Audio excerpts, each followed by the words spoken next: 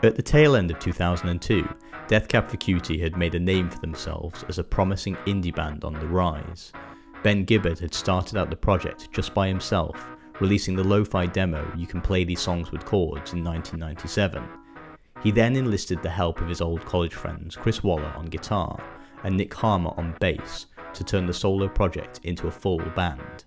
In this form, the band had signed to the small independent Seattle label Barsuk and steadily released the albums Something About Airplanes, We Have the Facts and We're Voting Yes, and the photo album. Each record was more successful in sales and richer in songwriting than the last. The band were also finding themselves at the centre of the cultural conversation, having notably been referenced on the popular teen drama The OC. Do not insult Death Cab. It's like one guitar and a whole lot of complaining. But by the end of their tour in 2002 promoting the photo album, the band were tired and fractious. There were festering tensions in the band. Guitarist Chris Walla had threatened to leave Death Cab a number of times, and a series of drummers had joined and left the band in quick succession. The band collectively decided to take a break. Ben Gibbard spent time working on a new glitchy electronic side project, Postal Service, with his friend Jimmy Tamborello, and Chris Walla made a name for himself behind the mixing desk, working on albums for bands as diverse as The Thermals, Nada Surf, and Hot Hot Heat. After this short break, the band felt ready to go back into the studio to record again. At this stage, none of the band had any idea just how seminal and influential this record would go on to be. At the end of 2002, Death Cab for Cutie, together with new drummer Jason McGerr, entered the Hall of Justice studios in Seattle. The studio was an iconic recording setting, steeped in music mythology, where bands like Modest Mouse, Low, and Mudhoney had all recorded much celebrated albums before them. Most notably, it was also the studio where local legends Nirvana had recorded their debut record, Bleach.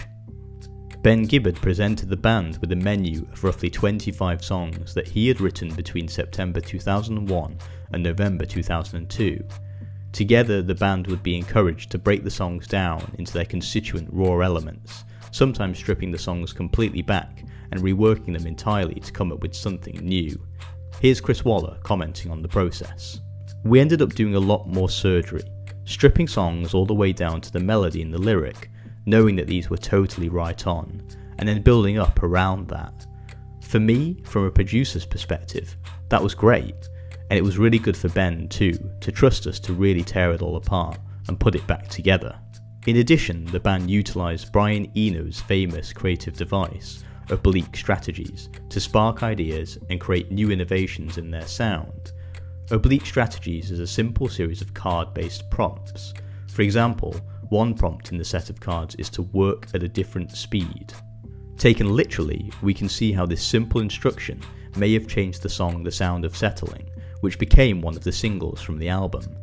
Here is the song in its original demo form, which Gibbard has said was inspired by glacial tempo slowcore bands.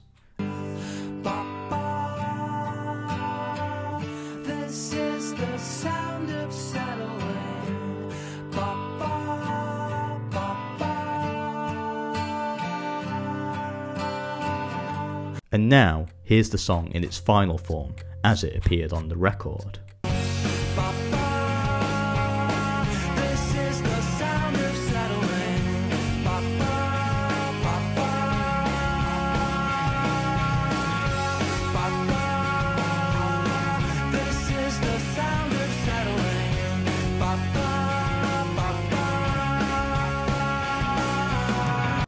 Lyrically, Ben Gibbard was inspired to write about themes of long distance romance, as he was in a relationship with someone based in the UK at the time. He wrote pensive and introspective words that explored the isolation he felt when he was away from the person he loved most, and the difficulties of maintaining romantic connection over a long distance. This idea gave rise to the title of the record itself, Transatlanticism, as in across the Atlantic Ocean, the body of water between the UK and USA. When writing the title track, Gibbard said he was inspired by seeing people saying farewell to one another at London's Heathrow Airport. He saw the heartache and sorrow that people felt when parting from their loved ones, and he wanted to bring that sense of distance into the song. To do this, the band incorporated ambient noises, such as the gentle hum of an aircraft engine settling down at the start of the song behind gentle piano chords to evoke this sense of distance.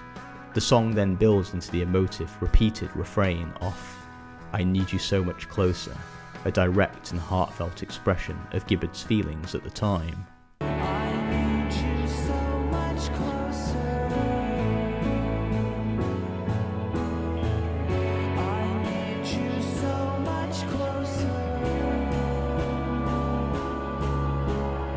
Is a theme that is reflected in the album's acoustic final track, A Lack of Colour, as well, where Gibbard plaintively laments being separated from his lover. All the girls in every girly magazine can't make me feel any less alone. I'm reaching for the phone to call at 703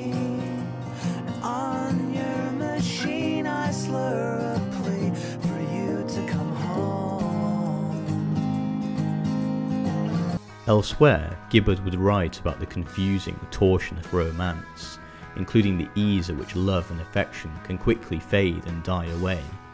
Here he is on the single, title and registration.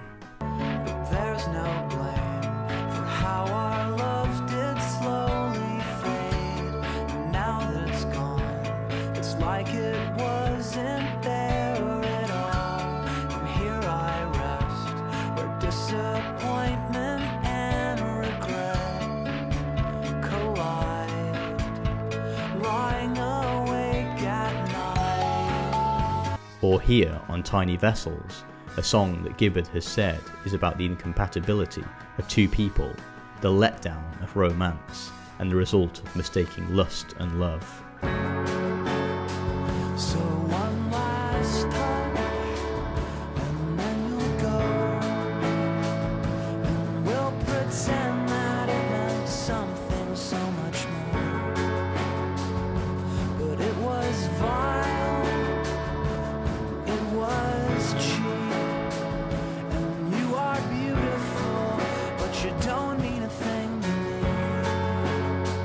There are lighter moments on the record too. On the peppy and upbeat The Sound of Settling, Gibbard would talk about how, in his mid 20s, he was ready to settle into the maturity of old age with his love by his side. Old age is just around the bend.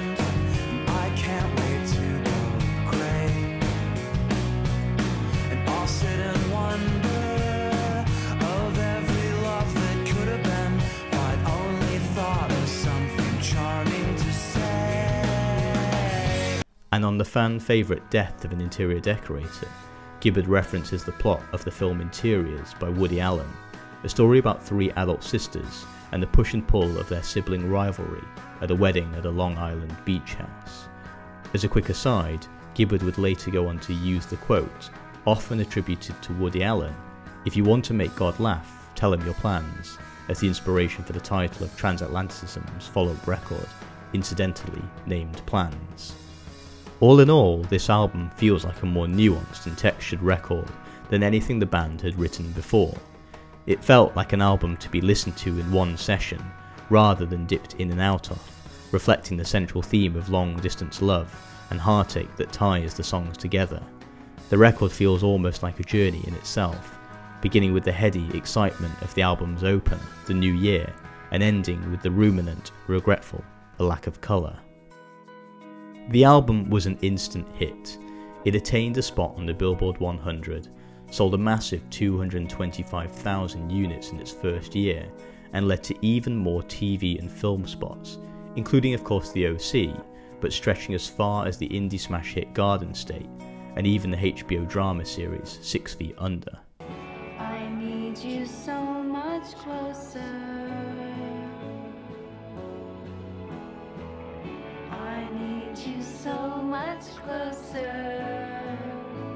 The record went on to become one of the totemic records of mid-noughties American indie, alongside albums by Wilco, Spoon, and Animal Collective. Perhaps most importantly, the album struck at the right time. Indie guitar music was a huge cultural force at this point, and many fans rallied behind the band. The open vulnerability and honesty of the lyrics perhaps chimed with a country looking inwards as it grappled with the tragedies of 9 11 and Columbine just a few years previous. Just don't call the band emo. Ben Gibbard has said in past interviews he hates being referenced as emo and associated with the scene altogether. Perhaps most crucially, the album was restorative for the band members themselves. Because of the time the band were granted to spend on writing and experimentation, they were able to work more constructively, rather than being at loggerheads with one another constantly. Here's Ben Gibbard and Chris Walla talking about the album at the time it was released. Well, I just think that we're I think that we're all at a point as a band now where we we're able to kind of work together in, in writing and arrangement better than we ever have before, and um, I think that's for a number of reasons. But um, I, I, don't know, Chris, you should you should hop in here and and. Uh, well, it's uh, I don't know. I mean, as we, you know, as we as we keep, I don't know. I guess as we keep doing this, it just um, you know, we get to communicate better. We we get better at listening to one another and listening to one another's ideas and like critiquing one another's ideas too. And we've gotten to a point where like if you know, if I say to somebody in the room like I don't like that part, I don't think that's working for the song, then it doesn't turn into I hate you and I think you're a terrible person. In particular, the presence of the band's new drummer, Jason McGerr, should be singled out for helping to bring out this new collegiate attitude of the band. The introduction of new blood into the group was crucial, he eased the gears of the band, acting as a calming influence when previously tempers and disagreements would have been left to simmer and boil over. Chris Walla said at the time, It's the first record we made with Jason, and I continue to believe that Jason saved our band in a way. We were at a point where we'd been through three drummers in four years. The whole creative and power structure of the band was a dysfunctional trio before Jason came on board. It was worthwhile to continue playing music together but it was tough. Having Jason's perspective, calmness, and his energy in the band, he has a levelness and a gravity about him that we really needed at that time.